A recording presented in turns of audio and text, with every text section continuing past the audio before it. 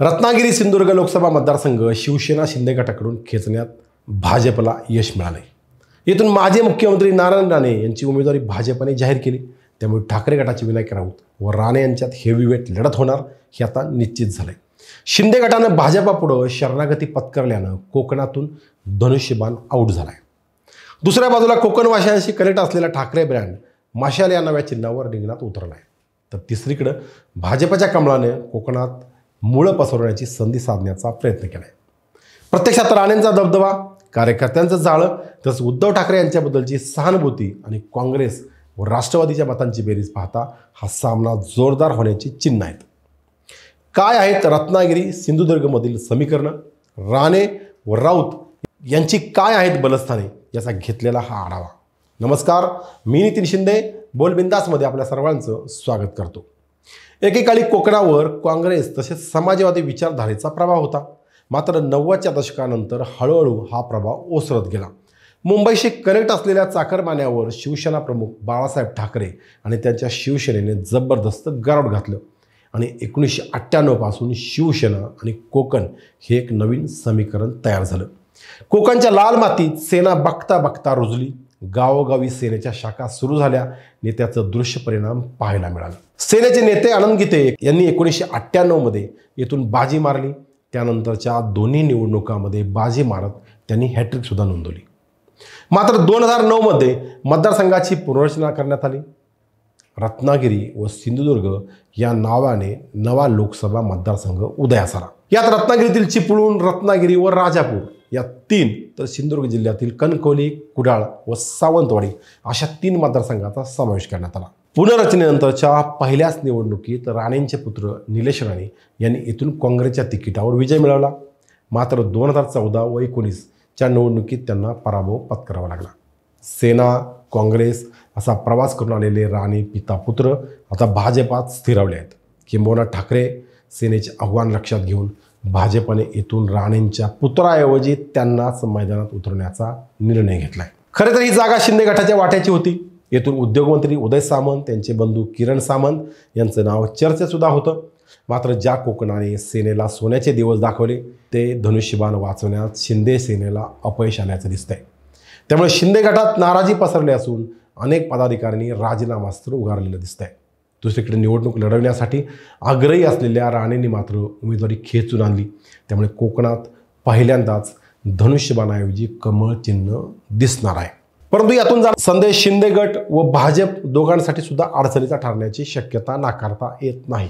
शिंदे गटातील नाराजी राणेंच्या मार्गात अडथळे उभे करू शकते.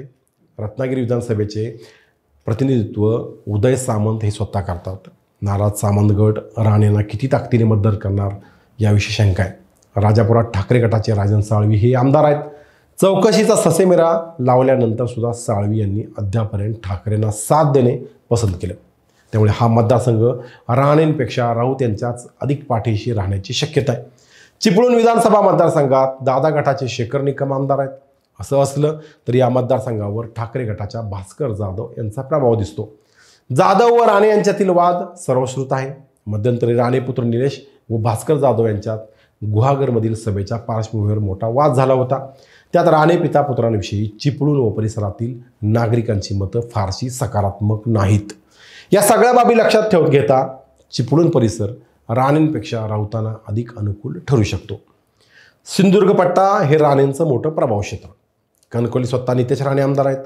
त्यातून विधानसभेत पंचवीस ते तीस हजारांचं लीड त्यांना लोकसभेसाठी मिळू शकतं. लोकसभेला अधिकाधिक मताधिक्य निलेश राणे यांना वडिलांना म्हणजे नारायण राणेंना मिळवून द्यावं लागेल. कुडाळ विधानसभेत कट्टर नारायण राणे विरोधक वैभव नाईक आमदार आहेत. दोन हजार चौदामध्ये नारायण राणेंचा येथूनच आसमान दाखवत त्यांनी खळबळ उडून दिली होती. त्यामुळे कुडाळमध्ये राणेंची कसोटी लागेल. तर येथून चांगले मताधिक्य मिळवण्यासाठी राऊत यांना प्रयत्न करावे लागतील. सावंतवाडीचं प्रतिनिधित्व शिंदे गटाचे दीपक केसरकर करतात. केसरकर आणि राणे यांच्यातील कलह सध्या तरी मिटला आहे. तरी केसरकर राणे यांना किती सपोर्ट करतील हे सांगणं आत्ता तरी अवघड आहे.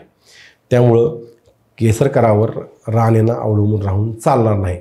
अर्थात माजी आमदार राजन तेली यांची साथ या मतदारसंघात त्यांच्यासाठी महत्त्वाची ठरू शकते. अर्थात सावंतवाडीची एकूणच राजकीय स्थिती पाहता राऊतांना येथून चांगलाच जोर लावावा लागेल. राऊत यांचा वारू रोखण्यासाठी कोकण प्रादेशिक पक्षानं शकील सावंत यांना निवडणुकीत उतरवलं आहे शकील यांच्या उद्योग व हॉटेल व्यवसायाचा व्याप दुबईपर्यंत आहे. अर्ज भरताना त्यांनी एकतीस कोटींची संपत्ती दाखवली. ते मुस्लिम मतं खेचणार काय? याकडे राजकीय वर्तुळाचं लक्ष आहे. तथापि भाजपला रोखण्यासाठी त्यांच्याऐवजी राऊत यांनाच मुस्लिम समाजाचं अधिक समर्थन मिळण्याची शक्यता नाकारता येत नाही. तर बहुजन विकास आघाडीच्या मारुती काका जोशी यांनी सुद्धा अर्ज भरला आहे कुणबी समाजातील जोशी यांनी मागच्या खेपेला तीस हजारांच्या आसपास मतं खेचली होती. तेही अधिकची मतं घेऊन राऊत यांना डॅमेज करतील का? याकडं राणेंचं लक्ष असेल. मतदारसंघात काँग्रेसचा कोटा मोठा आहे. तसेच शरद पवारांना मानणारी मंडळीसुद्धा आहेत. ही मते राऊत यांच्या मागे एकवटू शकतात ती एकवटली. तर राणेंना गणित जुळवणं अवघड जाऊ शकतं. कोकण पट्ट्यात सेनेला मानणारा मतदार आहे. तो सर्वदूर पसरला आहे ग्राउंडवर शिंदे गटापेक्षा ठाकरे गट सक्रिय आहे.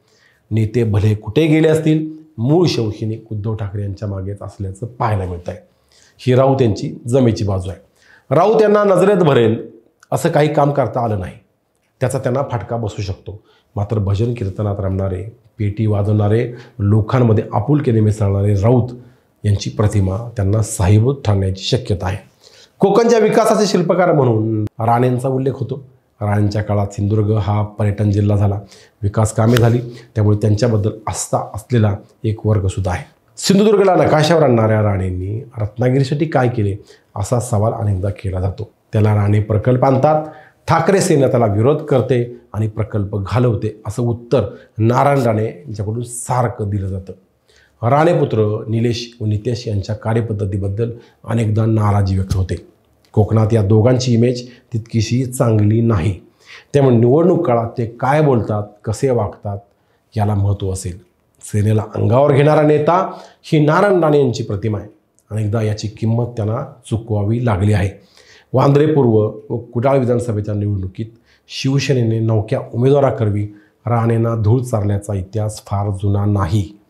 आता तिसऱ्यांदा राणे पडतील असं गणित शिवसेनेकडून मांडलं जात आहे रिंगणात राहत असले तरी खरी लढाई ठाकरे विरुद्ध राणे यांची असेल. राणे यांनी या खेपेला नक्कीच तगडे आव्हान उभे केले ते तयारीनिशी रिंगणात उतरलेत. पण कोकणाशी घट्ट नाते असलेल्या ठाकरे बेऱ्यांनी मैदानात उतरून ताकद लावली तर नक्कीच राणेंचो फुगो फुटतलो असं म्हटलं तर वावगं ठरणार नाही. आपल्याला हा आमचा व्हिडिओ कसा वाटला? आपण लाईक कमेंट करून आम्हाला नक्की कळवा. आणि अजूनही आमचा चॅनल सबस्क्राईब केला नसेल आत्ताच करा. धन्यवाद. जय महाराष्ट्र.